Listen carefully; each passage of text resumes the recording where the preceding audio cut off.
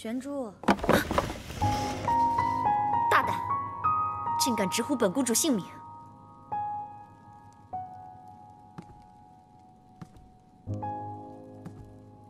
你不认得我了？你玩什么把戏？也难怪，这毕竟是阿满的脸。我们也有四年没见了吧？真的是你，帝女！你乔装打扮，费尽心思混进来，你要做什么？报复我们，还是准备和子辰旧情复燃？你放心，我不是和你来抢左子辰的。你对他的好，我比不过你。你也终于承认有一件事情比不过我了，真可笑！堂堂帝女，今日终于要对我认输。是了，如今你也不是什么帝女，无处可去，跟贱民没什么两样，难怪不再傲气。玄珠，除去左子辰的事情不说。我自认为没有什么得罪过你，你为什么这么恨我？你配吗？从小时候开始，你就什么都不肯输给我，凡是我要得到的东西，你都要抢走。我一直都搞不懂这是为什么。我从小就盼着你死，现在也一样，你竟然没死。从前我一直搞不懂这是为什么，后来想了很久，终于明白了。姨母一直盼着嫁给我父皇，谁知最后心愿未曾了，不得不嫁到诸侯国去。她心里一定十分不甘吧？住嘴！她想要做皇后，却又做不了；想生个有皇族血统的孩子，也生不了。她心里十分不甘吧？你恨我？你想压过我，我不怪你。你和我扯这些旧事做什么？有什么意义？凭什么说不怪我？你以为你是谁？我不怪你，但是你欠我的，你要补偿。我欠你？我欠你什么？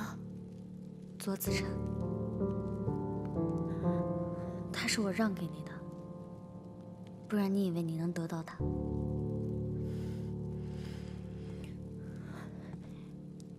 你竟然跟我坦白身份，就是为了说这些？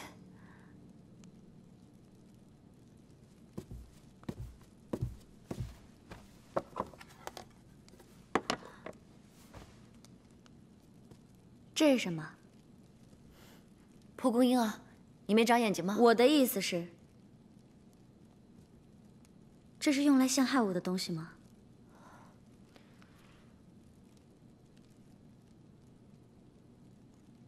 玄珠，你与子辰是我在香曲山上的意外，我来这是另有目的，所以我不能任由你再这么胡闹下去，你懂吗？你就不怕我说出去吗？你别忘了，天元国还在追查你的下落，大离国的帝女，你不会。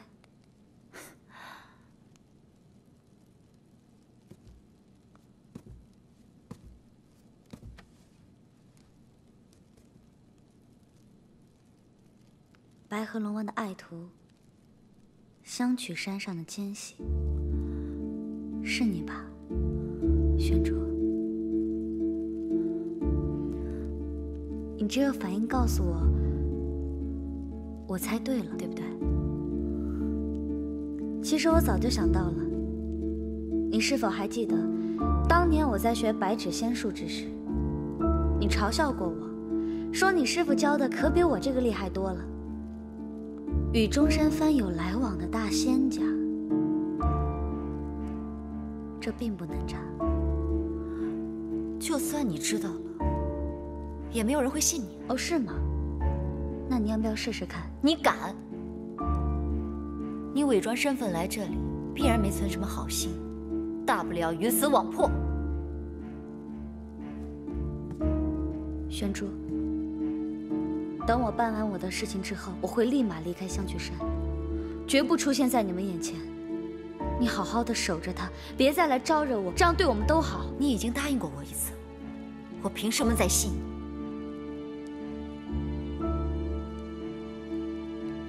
你？山主最近正在请全山之力彻查奸细。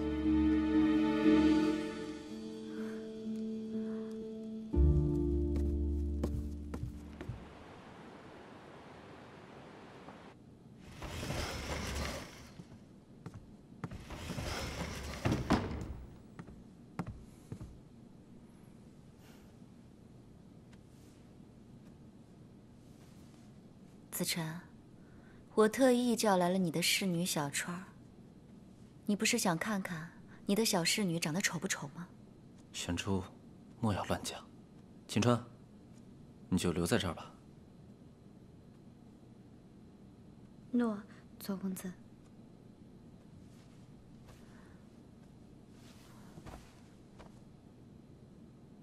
子辰，你慢慢睁开眼睛。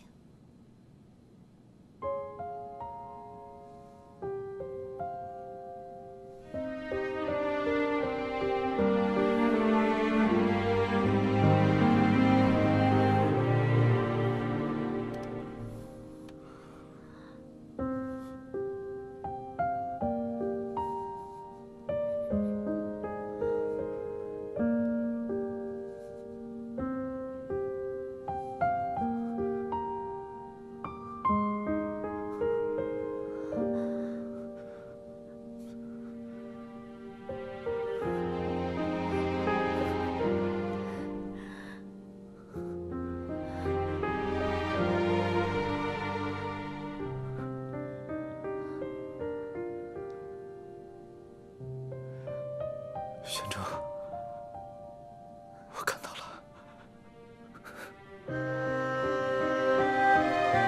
玄珠，我看到了。子辰，你看到我了？你看到我了，子辰。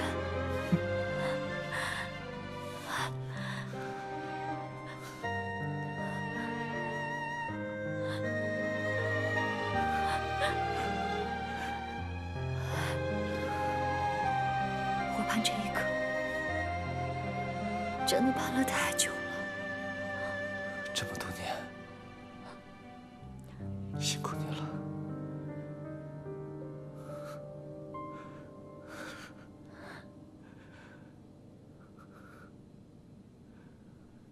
小川，把头抬起来。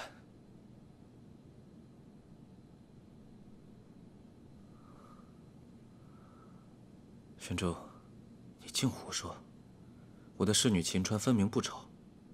秦川，这些天感谢你的照顾了。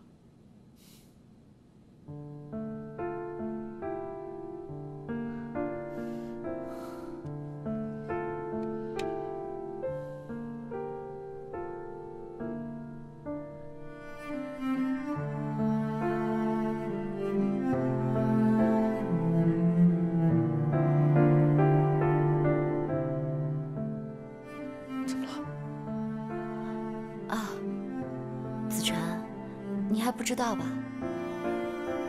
小川这两天烦闷得很。杂役院那傻小子每天追着他跑，那小子是你的未婚夫吧？玄珠大人莫要取笑小的。哎，人之可贵啊，就是有情有爱。更何况这个山主是个开明的人，你就随自己的心意便是了，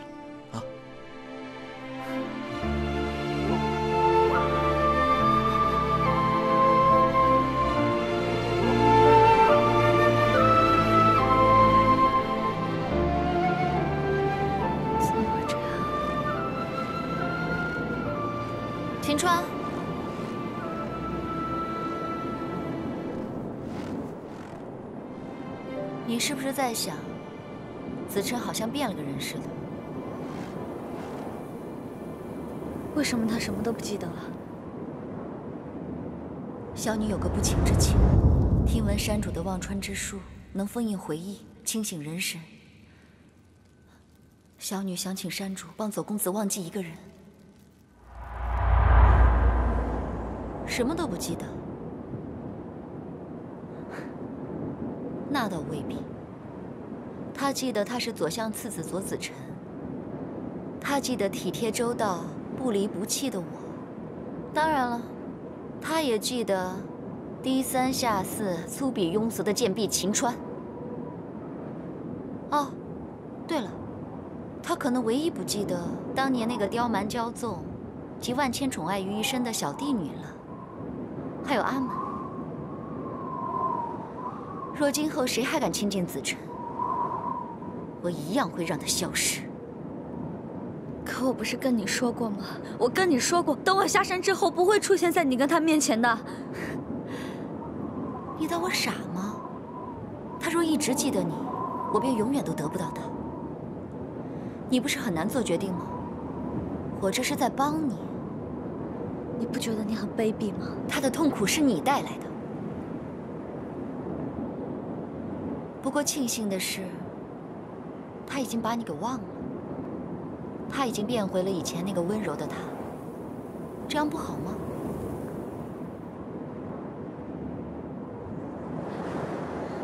能忘记，也是种福气。我劝你还是尽早离开香曲山吧。这里马上就会生灵涂炭，你若留下，都没有人来给你这个贱婢收尸。那又如何？